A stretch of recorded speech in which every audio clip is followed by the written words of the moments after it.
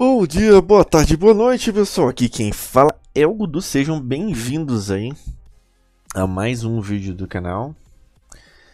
Se você não for inscrito no canal, considere se inscrever. E o pessoal que esquece o like, já deixa aquele like aí. Vocês já devem ter lido o título do, do, do vídeo, né? E já devem estar aí cientes do que eu vou estar falando aqui.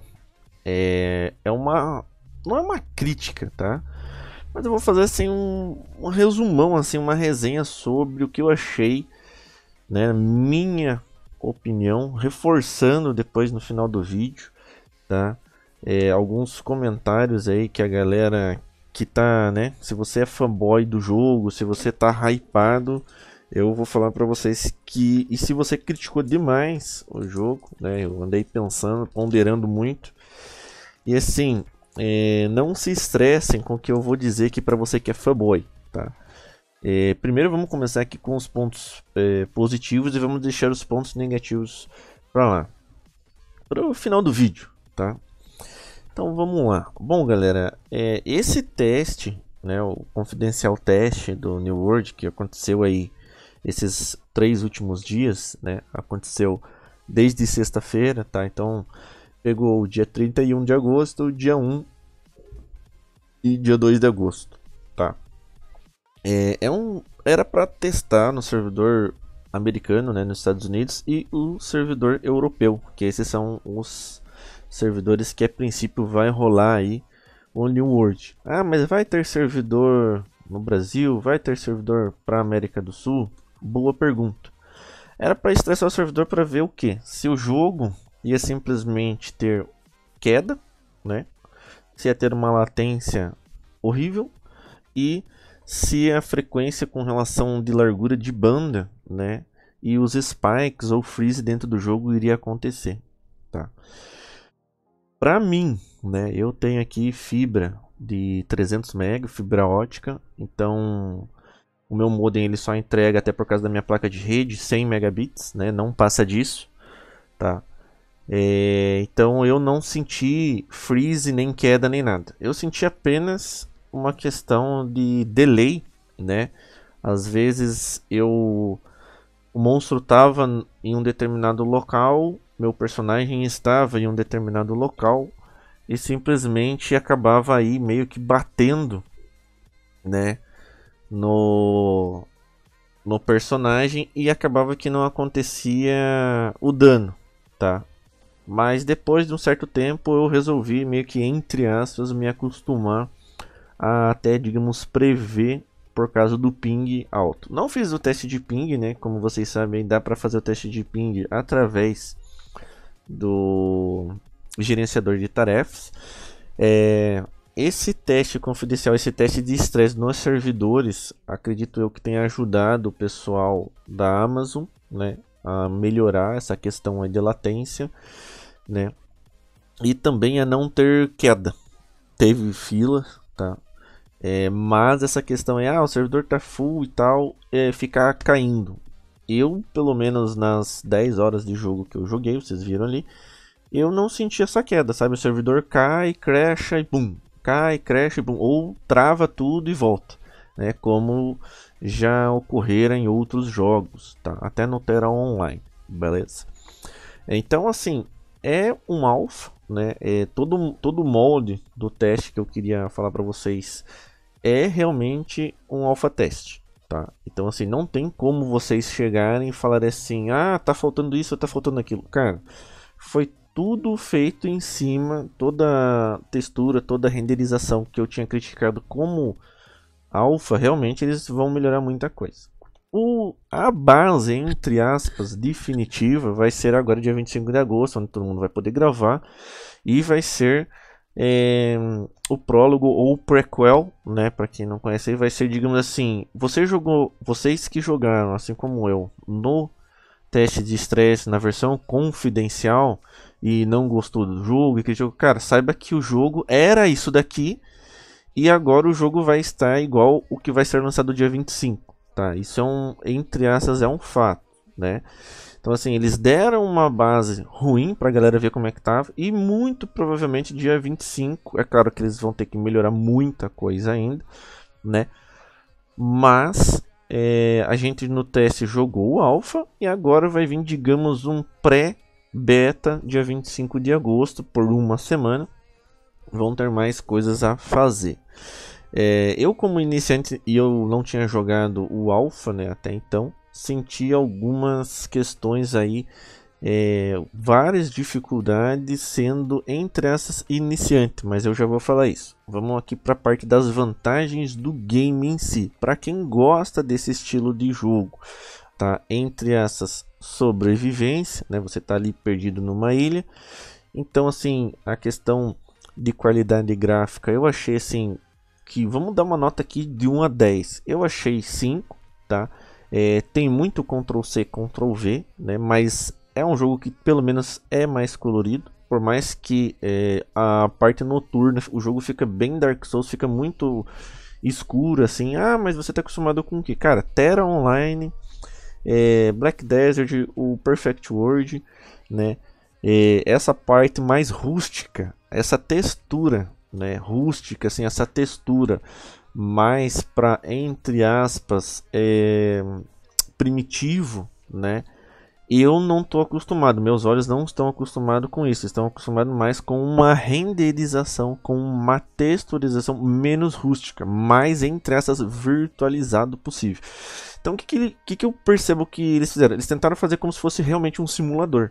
Entendeu? Eu não, não vou falar assim que a, que a textura é perfeita, porque não é. Mas ela tá na média. É agradável o visual? É mas tem muita coisa repetitiva. Acho que até pelo simples fato de, digamos, você ter que ficar fazendo uma questão de sobrevivência, então tudo que você é, anda no mapa, tudo é craft, tudo é craft, tudo é coleta, tudo é isso, tudo é aquilo.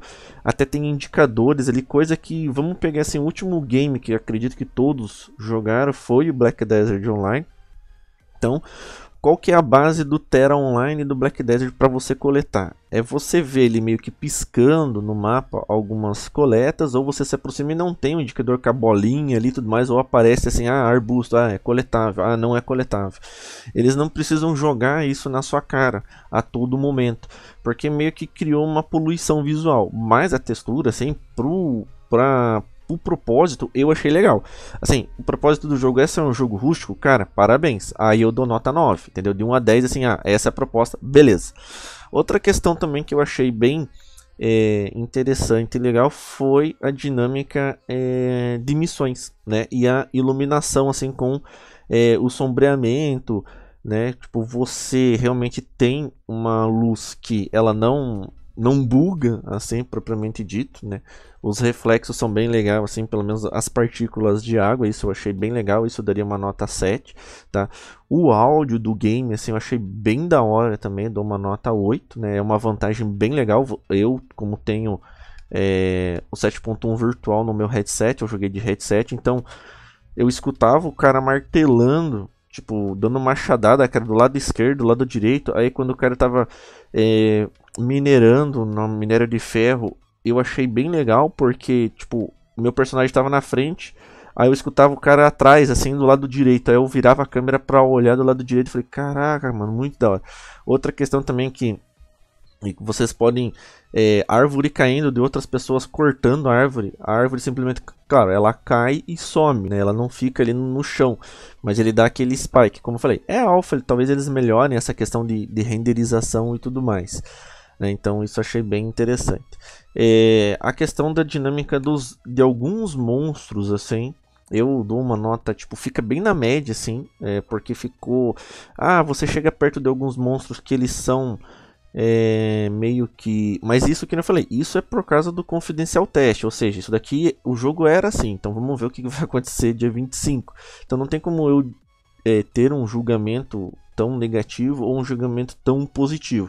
Se a proposta do game é essa, cara, estão dentro da, da proposta, beleza.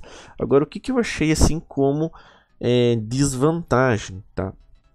É, cumpriu o teste de estresse, cumpriu, mas pelo alpha, ainda bem que eles vão melhorar, é que assim, é, eu senti muito engessado, né? Isso já foi várias outras pessoas também é, falaram a mesma coisa na questão da movimentação e da hitbox do personagem. Tá? Na questão de partícula da movimentação e profundidade com o terreno. Às vezes parece, se você pega uma linha reta e deixa o personagem correndo, você sente que você não está necessariamente dentro do jogo, entendeu? Então falta uma textura ali, parece que o personagem está correndo é, num lago de gelo assim, deslizando. Então, tipo, é muito estranho. Fora hitbox para você bater em alguns outros locais assim também e você acaba, digamos, travando em pedra. Eu fui subir em um lugar lá, eu fiquei travado entre dois locais, assim, aí eu tive que tentar fazer o shift e, e barra de espaço, que é onde ele tenta pular, ou shift é, e corrida, daí ele conseguia sair e subir. Né? Mas isso são bugs do, dessa questão do Alpha, acredito que eles precisariam ter o barrão stuck quando você trava em algum determinado local, né? Até aí, beleza. É, outra falha também, acredito que isso vai mudar, é óbvio, tem que mudar, né? Mas assim, vamos focar na parte de iniciante. Assim, eu queria ir direto para fazer subir, por exemplo, engenharia, para saber aonde que você encontra determinados materiais e o jogo, por mais que nessa parte aqui tenha um desenvolvimento aqui no mapa, tá? Vamos pegar aqui o mapa do jogo. Aqui, no lado direito, quando você abre o mapa, ele mostra ali que tipo, ah, os, ele dá texturas do mapa, tá? Texturas ali rústicas de novo. Por exemplo, aqui a parte do oceano, você vai encontrar pedra. Aí aqui tem um desenho que representa mais ou menos a costa, né? Que você vai encontrar pedra e vai encontrar arbusto. E daí você tem uma, uma o, o aqui, que seria mais ou menos pequenas ilhotas onde você vai encontrar ar, mais arbusto e vai encontrar frutinhas, né? Que seria mais ou menos aqui assim nessa, nessa região. Deixa eu pintar aqui o mapa que eu coloquei aqui. Então o que, que acontece? Se você tem um mapa, por exemplo, um tutorialzinho aqui, você vê que a parte do oceano, vamos pintar aqui, ó. Você vê que a parte do oceano é essa são essas texturas aqui certo? Até aí, beleza. Aí você vê assim, cara, mas onde é que eu vou achar óleo, por exemplo? A galera ficou com esse negócio do óleo, perguntando no Discord, gente, onde é que eu acho óleo, onde é que eu acho óleo? Ou seja, para iniciante, assim, você tem que prestar muito bem atenção na questão de textura. Porque senão você não encontra, infelizmente, você não encontra algumas texturas determinadas. Por exemplo, o óleo aqui, ó, ele parecia um, um matinho, né? O pessoal falou, cara, vai no pântano. O que que eu achei aqui olhando esse mapa agora de fora do jogo, porque eu não consegui entrar dentro do jogo agora, né? Mas aonde que teria esse oil aqui? Onde tem esse tipo de textura aqui, ó. Vou até dar um zoom aqui, ó. Esse tipo de texturização aqui, ó. Né? Aonde você encontra isso daqui, deixa eu pôr um vermelho aqui, aqui no mapa, né? Você está dentro do jogo. Eu não, não achei, entendeu? Eu não achei um símbolo parecido. Aqui, ó. Agora achei, ó. Tá vendo? É o que mais se parece com esse carinha aqui. Ou não também, né? Aí você vê assim, mineral. O pessoal fala, ah, tem que ir nas montanhas. Né? Aí aonde que tem montanha? Aqui, ó. Certo? Só que para quem é iniciante, cara, e quer sair coletando, quer explorar, você perde muito tempo. Né? Que nem eu fiquei procurando pena, aqui eu fiquei, eu caí aqui na na luz na luz luz de início ou luz começo, né? Dá a primeira luz aqui, né? Que é o nome da cidade. Eu nasci aqui embaixo, tá? Deixa eu só voltar aqui o. Deixa eu ver se eu tenho ainda no Ctrl V. Não, não vou ter. Mas o que que acontece? Tem uma parte do mapa aqui que é uma ilhazinha. Eu fiquei nessa primeira cidade.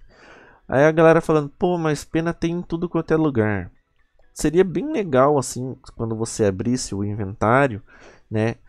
Ter a localização, você clicar no item e aparecer assim, ó, igual tá aqui, sabe? Sabe que nem para quem jogou vai saber o que eu tô falando, quando você domina o território e fica pintado em determinadas regiões do mapa. Seria bem interessante se, por exemplo, ah, eu clicasse lá em pena e daí essa parte do mapa aqui ficasse verde aqui, verde aqui e verde aqui. Ó. Nessas localizações você encontraria pena. Ah, mas agora eu quero, é, por exemplo, o próprio óleo, né? Ah, o óleo tem aonde? Ah, aí eu, aqui ficasse verdinho, sabe? Igual vocês estão vendo aqui que tem essa marca da água aqui em volta, aqui assim, ó, desse local. Ficasse exatamente disso. Cara, só marca a região para mim onde eu encontro as coisas. Ah, mas é que você não explorou. Cara, você perde muito tempo para quem é iniciante. Você pensa, pô, será que eu upo? Ou será que eu vou explorar? Entendeu? Aí o que, que eu percebi? Eu percebi que no decorrer do jogo, as próprias missões vão te levando a determinados locais. Então, assim, minha opinião e minha crítica né, no jogo é, é assim: tinha que ser mais intuitivo. Ah, mas se a propósito do jogo é você sofrer e você ficar explorando, cara, Tibia tá aí pra isso. Não tinha nada, você tinha que ficar se batendo no monte para chegar a determinados locais. E para você que é iniciante no, no game, quando for jogar, claro, não vai.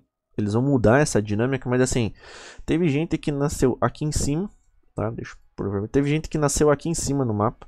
Teve gente que nem nasceu aqui embaixo. Teve gente que nasceu aqui na lateral. Teve gente que nasceu aqui em outro lugar. Então, cada pessoa nasceu em um determinado, em uma determinada, em uma determinada cidade principal. Ah, isso é bom, isso é ruim? Cara, eu acho que é legal, porque cada um caiu em um lugar, assim, a, a, a propósito do jogo, cada um ficou em um lugar, mas os indicadores, né, que nem mostra aqui dentro do mapa, deveria ter algo menos rústico, ou seja, essa textura aqui super parecida, essa textura é parecida com essa textura aqui, que é parecida com essa textura aqui, ou seja, muda, não tem cores vivas, cores fortes, sabe? Eles deixaram isso mais para ser uma cor forte para a questão de dominância das facções, né? Mas acredito eu que, cara, isso daqui é muito é muito suave, assim, sabe? Tipo, ah, é marrom claro, verde claro, aí verde um pouquinho mais claro, aí marrom um pouco mais escuro e preto, sabe? Tipo, eles usaram umas cores assim que, no meu ver, deveria ser um pouquinho é, melhor, pelo menos na questão do mapa. Então é tudo muito parecido, sabe? Tirando só a questão das montanhas, né? Mas enfim, espero que eles, digamos, melhorem essa questão. É, outro quesito também que eu achei ali, que nem eu, eu falei para vocês, eu gostaria de jogar é, de arma à distância. Só que o jogo não te fornece nas quests iniciais. O que, que acontece? Você pega espada, aí você ganha marreta e o arco e flecha não vem. Então assim, eu fiquei pensando, cara, por que que não vem um arco e flecha demora? Entendeu? Você começa com uma espada e um escudo né, na primeira missão. Depois vem marreta. Depois vem. Aí você vai fuçando lá, você vai achando as caixas de suprimentos que são pouco. Aí você acha munição para arco e flecha e para mosquete. Mas você ainda não tem um arco e flecha né? Então, tipo, eu achei meio problemático, porque eu só fui pegar quando eu cheguei no level mais ou menos 15 ou 12 que eu achei sem querer dentro de uma caixa de suplementos, de suprimentos lá matando os lobos, que nem tinha missão lá, que depois de muito é, eu pegar level e fazer as missões, aí sim que eu ia voltar, a missão ia me mandar direto para aquele lugar onde eu achei aqueles suprimentos. Então é assim, você que está iniciando ou que vai iniciar no New World depois, né, que o jogo já tiver disponível mesmo, eu vou gravar e falar, cara, o que, você vai fazer quando iniciar? Foca nas missões, porque as missões vão te levar a determinados lugares e você vai aprender, entre essas, o básico. O jogo, quando você abre ali no, no P né, do, da progressão, ou no K, né, depende do que como você configurou, o que, que acontece? Infelizmente, você tem a lista de material, ó, aqui o mapa, o mapa aberto melhor, né, dando um zoom aqui no, nessa questão. E que nem eu falei para vocês, a textura é muito parecida, cara. Então, tipo, é muito clarinho, não tem. É, eu precisava que fosse pra, pro, pra minha visão, né? Ah, cores mais vivas. Mas enfim, o jogo é rústico, paciência. Aí assim, pra você que tá iniciante, cara, foca nas missões. Deixa para explorar o mapa se você tiver com muita paciência para explorar o mapa entendeu? Eu fiquei ali querendo porque queria fazer munição, querendo fazer a flecha para me utilizar no começo do jogo. Eu fiquei preso nisso. Eu fiquei com aquela sensação assim, cara, como é que eu não tenho um tutorial ensinando a fazer flecha ou a fazer munição? Porque provavelmente o jogo te empurra a usar, pelo menos nessa versão de teste, o jogo empurrava, né? Que nem eu falei, é minha análise aqui com base nisso. Então, achei que é, você quer usar todas as armas? Não, mas o jogo te empurra para espada e escudo. Aí você vai lá, você chega, pega level 5, aí ganha um martelo. Aí você chega level 12 e ganha um cajado. E eu fico pensando, cara, cadê meu arco e flecha? Cadê o mosquete? Eu quero usar, só achei nos suprimentos ou é, pesquisando muito. Então você perde muito tempo explorando. Ah, mas explorar é legal, é divertido. Tá, o propósito do jogo é esse? Beleza, aí eu dou nota 10. Mas se eu entro num jogo para ficar só correndo atrás de crafting e fazendo crafting e fazendo crafting e fazendo crafting e fazendo crafting e fazendo crafting. Então é um jogo de sobrevivência de crafting. Entendeu? Você não tem mais nada para fazer a não ser ficar cortando madeira e lenha o tempo inteiro. Sabe? Pra quem gosta desse tipo de dinâmica, beleza, cara. Mas eu que quero tentar é, encontrar assim, indicadores no mapa, pode ser que venha uma melhoria assim melhor, entendeu? E eu que quero ter ali, por exemplo, ah, pegue, sei lá, 200 flechas gratuitas. Ou ah, o monstro, por exemplo, teve monstro que dropava espada. Tem gente que fala, ah, mas tinha que ser é, melhor. Cara, outro problema. Todo monstro é caveira. Ou é caveira, ou é lobo, ou é javali. Sabe? Achei lá um, um, uns jacaré, né? Uns crocodilo. Mas técnica. Ah, mas é porque a ilha transforma as pessoas, as pessoas morrem e elas viram caveira é proposta do jogo, cara, beleza. Então é só o mesmo monstro com skin diferente. Aí até aí você fica meio assim, mas e aquilo lá, apresentação dos monstros, que ia ter o urso de árvore, ia ter o servo de árvore. Tinha missão de servo ali que eu achei na primeira cidade, que é a, a primeira luz ali. Luz primária, sei lá, cara, first, first light. E o que aconteceu? Eu não achei legal, cara. Eu falei, pô, missão para matar servo só acho porco. Que nem tem gente. Ah, mas Gudo, você não explorou. Cara, assim, se eu tô no início e não tenho os recursos, eu tenho que ir mais pra frente no jogo, eu tenho que explorar, o jogo me força a fazer a exploração. A proposta do jogo é essa. Eu digo, beleza, ok. Mas para quem tá iniciando, por exemplo, assim, você nunca jogou MMORPG na tua vida. Aí você vai lá e começa com New World. E o jogo te apresenta só fazer isso, isso, isso, isso. Né? Você só vai fazer isso, isso, isso. Aí você fica meio, cara, é repetitivo, é chato, é maçante porque você não tem informação nenhuma. E eu não quero gastar cérebro ou memória decorando o jogo, decorando o mapa se não tem nenhum indicador do game, entendeu? Então assim, ah, mas a proposta do jogo é essa. Pô, então daí tem Arcade, tem lá o Conan the Exile, entendeu? Tem essas coisas, sabe? Tem que, tipo, né, se propor a isso, sabe? Então assim, só tem caveira em alguns spots, o resto você tem que explorar. Então beleza, né? Aí ok, mas se eles só te dão mais. Eles te forçam a jogar de espada e marreta porque você tem que gastar fazendo munição para arco e flecha. Ah, mas não acho difícil porque eu meto uma. Aí eu fui descobrir que o pessoal ali falou que, cara, para baixo dessa cidade aqui, ó, em é, Windsward, que é vento alguma coisa lá. Acho que é. Não é o. Ah, cara, não lembro o que, que é o Windward, cara. Mas é ventania. Acho que é Torre dos Ventos. Aqui embaixo, aqui o cara falou, cara, fica aqui embaixo aqui, ó, ou aqui em cima, e tem um monte. Você vai achar um monte de ninho lá que vai ter e tudo mais. Eu falei, bom, beleza, então tá bom, meu. Mas eu tenho que sair daqui de baixo vim pro meio da ilha. Aí quem explorou mais também falou, cara, o mapa é um cubículo, é muito pequeno, é muito repetitivo, mas que nem para quem vai pro late game, ou seja, rush level, que é uma coisa que eu falei pra vocês. Cara, você ficar iniciante, explore o mapa. Ache as montanhas, ache ferro e você vai lutar só de espada. Isso com base no alpha. Agora vamos esperar dia 25 para ver o que aconteceu. Mas assim, o jogo tá jogável, tá interessante, é mais ou menos, tirando a parte que o combate ficou meio engessado, você que é iniciante não consegue jogar com armas de distância, a não ser que você rush e vai fazendo as missões e daí você vai explorando, o jogo vai te levando para explorar vários locais. Então faça isso. Se você quer é, rushar engenharia, que nem eu descobri que para fazer engenharia level 3 eu precisaria ficar fabricando as armas básicas. Depois quando eu fabriquei as armas básicas de ferro, aí liberei engenharia 3. Ah, e outra coisa também. É, desmontar itens. Cara, todo item que eu dropava, que era um pouquinho inferior da espada que eu tava usando, eu desmontava. Então, assim, fica essa outra dica também. Desmonte os itens, não vendam ou não joguem fora. Sabe? Era S e o clique esquerdo do mouse e depois o F para confirmar. No caso o E, né? Que eu mudei aqui as teclas de atalho. É, então você tem que desmontar todos os itens para você ter aqueles materiais né, para fazer ali pelo menos no início, se você não for um explorador. Eu não quis explorar, eu, eu tentei explorar ali no começo, daí falei, pô, cara, será que eu vou ter que ir lá pro meio do mapa? Vou ter que ficar batendo cabeça? Esse tipo de jogo eu não gosto. Eu, é minha é o meu é o meu dizer, tá? É a minha opinião. Eu não gosto de jogo que é tipo puzzle, ou seja, é muito quebra-cabeça, entendeu? Esse tipo de jogo que é quebra-cabeça demais, que não tem indicação, eu não curto. Essa parte aqui do Resources Location, se não me falha memória, tinha e depois não tinha mais. Então ficou meio estranho. Mas vamos ver o que, que eles vão gerar dia 25.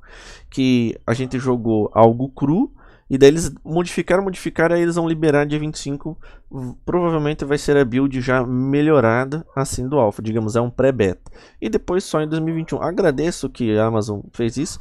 Isso que nem, de novo, se não for um prólogo pro Senhor dos Anéis. Tem muito, muito boato aí e o pessoal do Reddit também estão criticando fortemente o New World.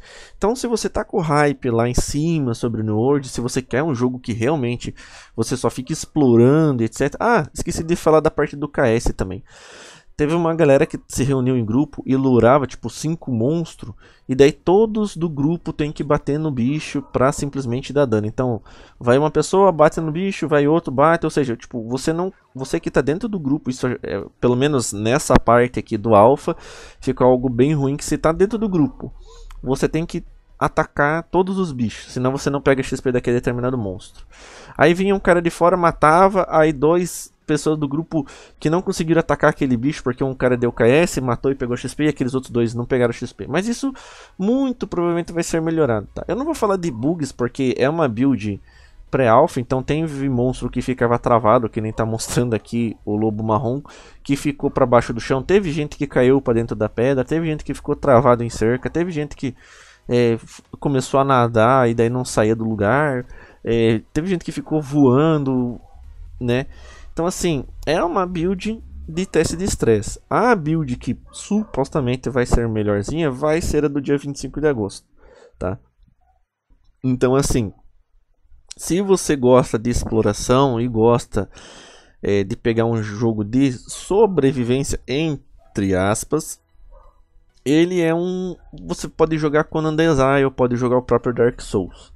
Tá? Agora, com a proposta do, do New World de ser um jogo aonde você estaria enfrentando várias pessoas, estaria dominando o território, é, você está upando as suas coisas ali e o jogo não te mostrar, por exemplo, não te dá falar, ah, faça tal coisa.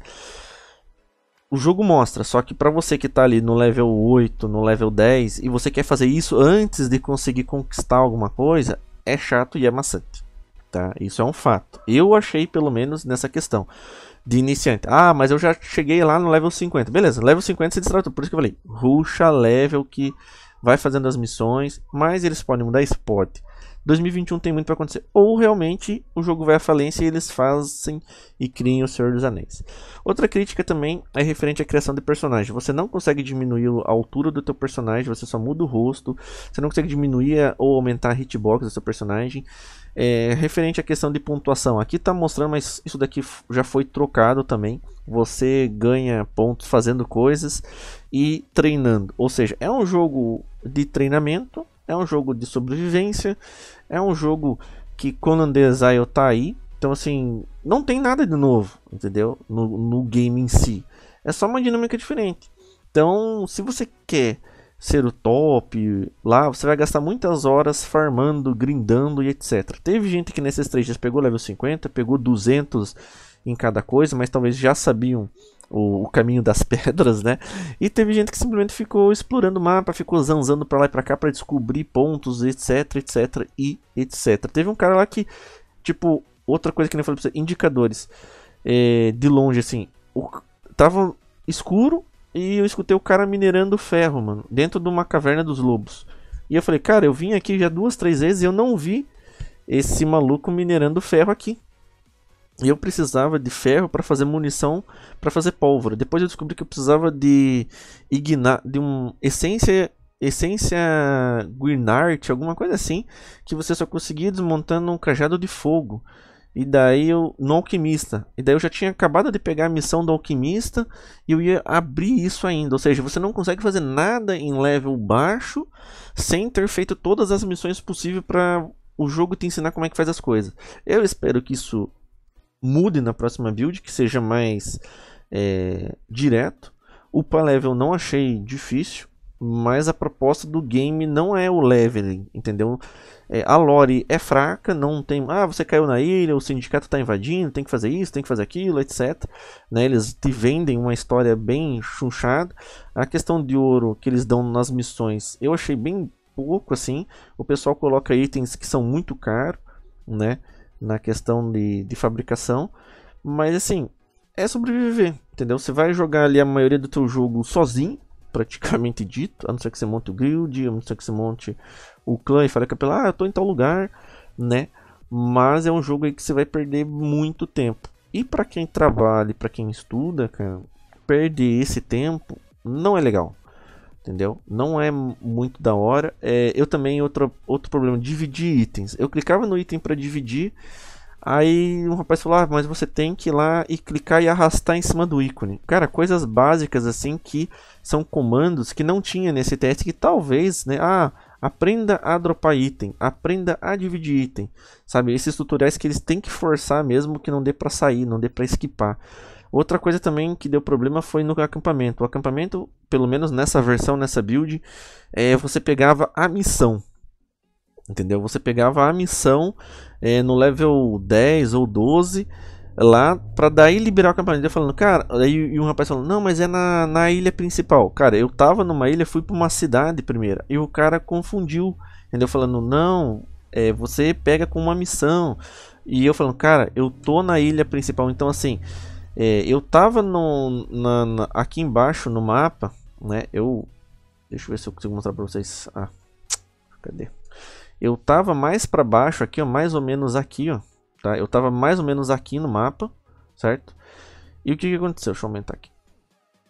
Eu tava bem aqui, ó, nesse ponto do mapa, e daí, onde que eu fui pegar a quest? Aqui na cidade.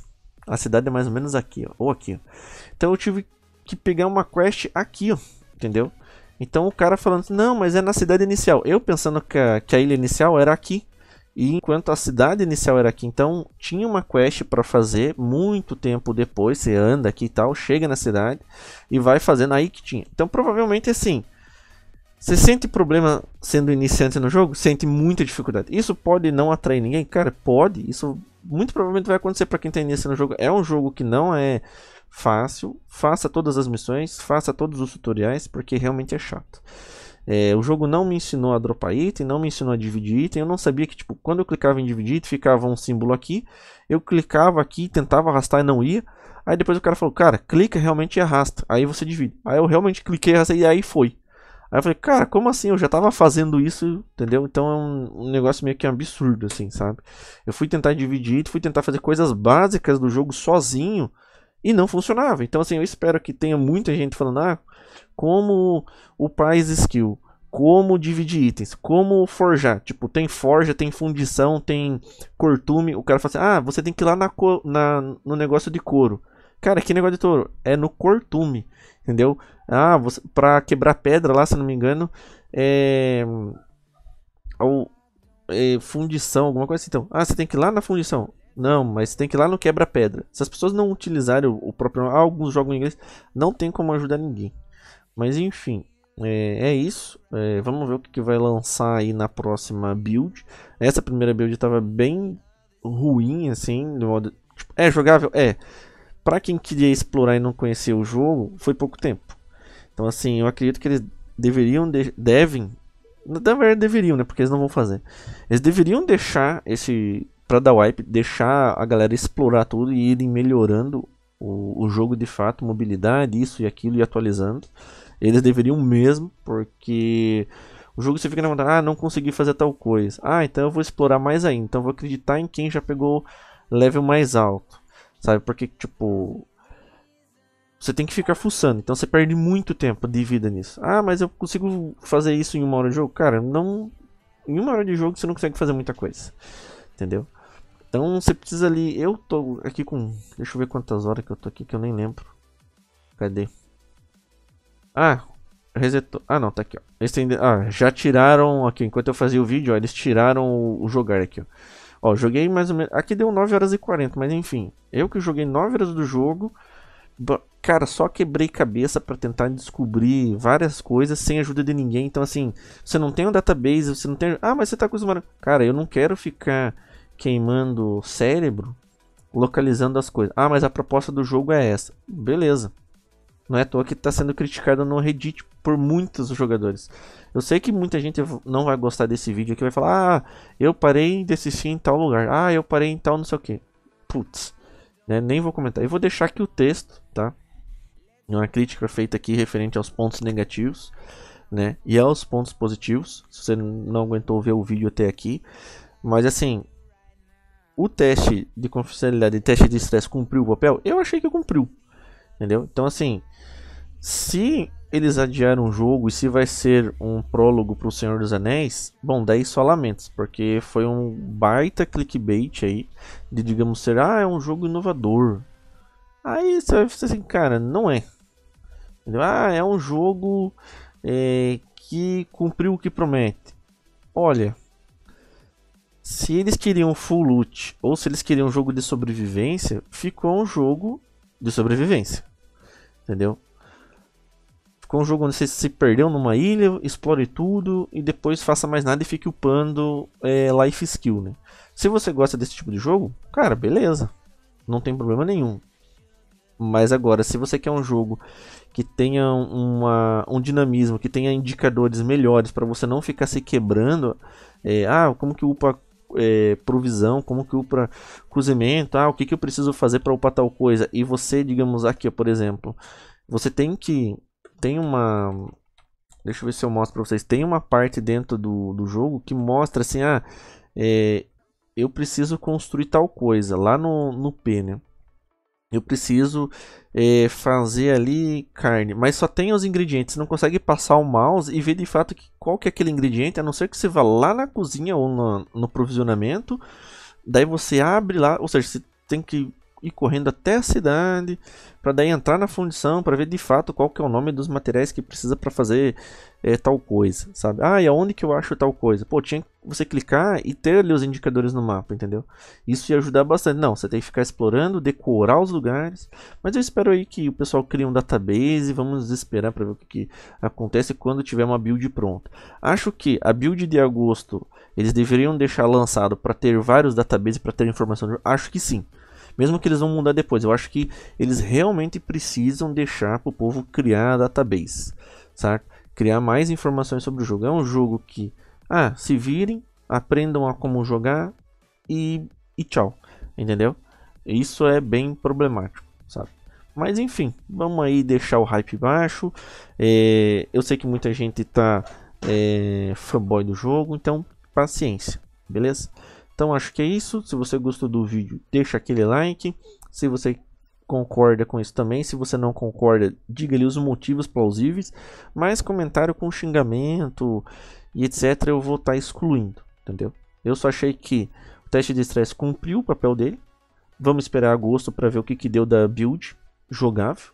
E minhas sugestões eles deveriam deixar aberto, a não ser que alguém crie um private, né? Que nem fizeram com o BDO. O BDO lançou e criaram um servidor piratão lá, pegaram os arquivos do jogo, vazaram e tudo mais, certo? Então acho que é mais ou menos por aí, beleza? Até o próximo vídeo e fui!